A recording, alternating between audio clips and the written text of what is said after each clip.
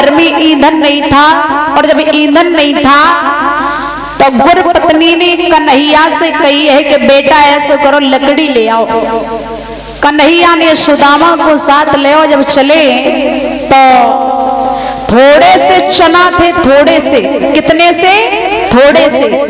ये थोड़े से चना गुरु पत्नी ने सुदामा को दे और बोले, जब भूख लगे तो आपस में बांट के छब लेना। हेलो ध्यान दें पवन भैया मेरी आवाज़ सुन रहे हैं तो व्यास गद्दी के पास आ जाएँ। पवन भाई।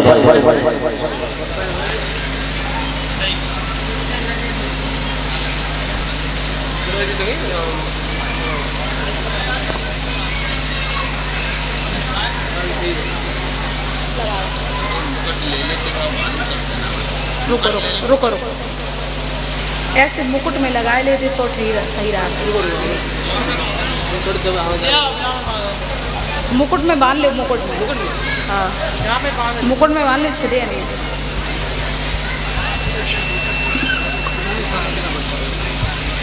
तो महाराज साथ ही साथ में आपको एक बात और बता दूँ कि जो गुरु पत्नी के पास में थोड़े से चना आए थे वो कहाँ से आए थे?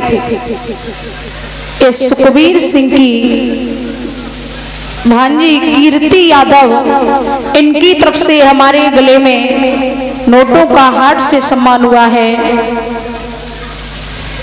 नरेश पुत्र विनय यादव इनकी तरफ़ से भी 101 रुपए से सम्मान हुआ है। बहुत बहुत धन्यवाद।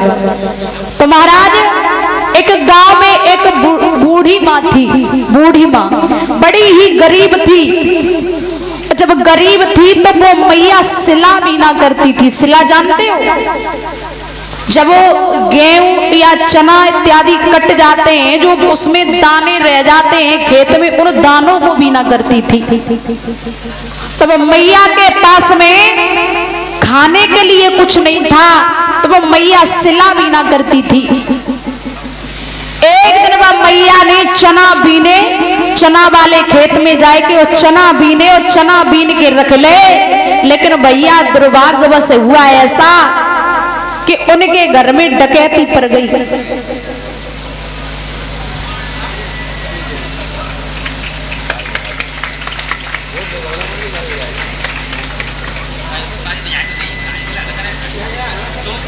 बहुत अच्छी है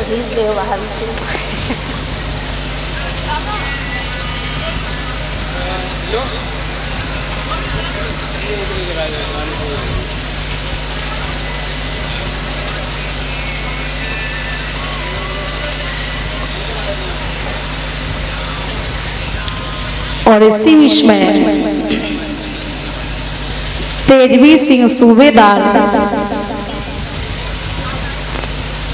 कथा मालिक जी और यज्ञपति भी हैं। इनकी धर्म पत्नी संगीता यादव। इन दोनों लोगों की तरफ़ से हमारा सम्मान हुआ है। ये चांदी का मुकुट पहना करके जोरदार तालियों से इनका स्वागत और सम्मान करेंगे। और 501 रुपए से सम्मान 501 रुपए से अवनीश जी का सम्मान और समस्त स्टाफ का पान पाँच सौ रुपए से समस्त स्टाफ का सम्मान किए हैं। जोरदार तालियों से इनका स्वागत और सम्मान करेंगे। भगवान से कामना है कि परिवार के ऊपर हमेशा अपना पंजा रखे रहें। हमेशा इन्हें धन की प्राप्ति होती रहे, जो धर्म के क्षेत्र में हमेशा आगे को बढ़ते रहें। इनका परिवार खूब फरे फूले, खूब समृद्धि हो गए जो ऐसे धार्मिक कार्यों से जुड़े रहे।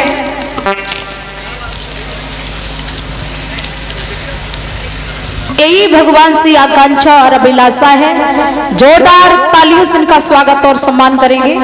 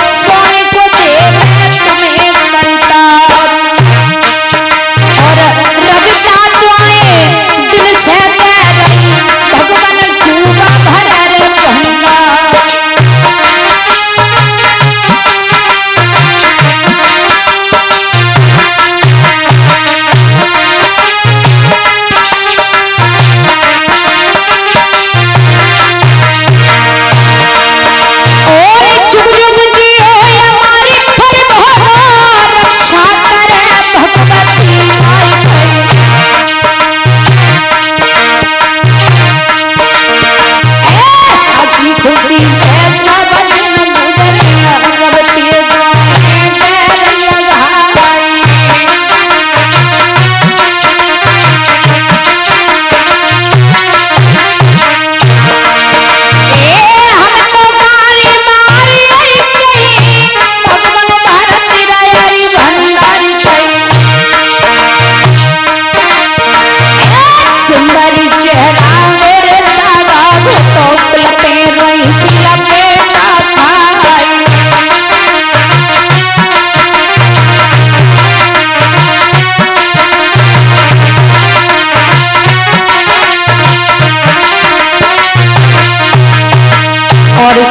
बीच यादव, पत्नी मोहिनी यादव, पुत्र दिव्यांश यादव नूरमपुर से इनके द्वारा हमारे गले में नोटों का हार मुकुट बना के सम्मान किए। पति परीक्षित का भी सम्मान और हमारे समस्त स्टाफ का सम्मान।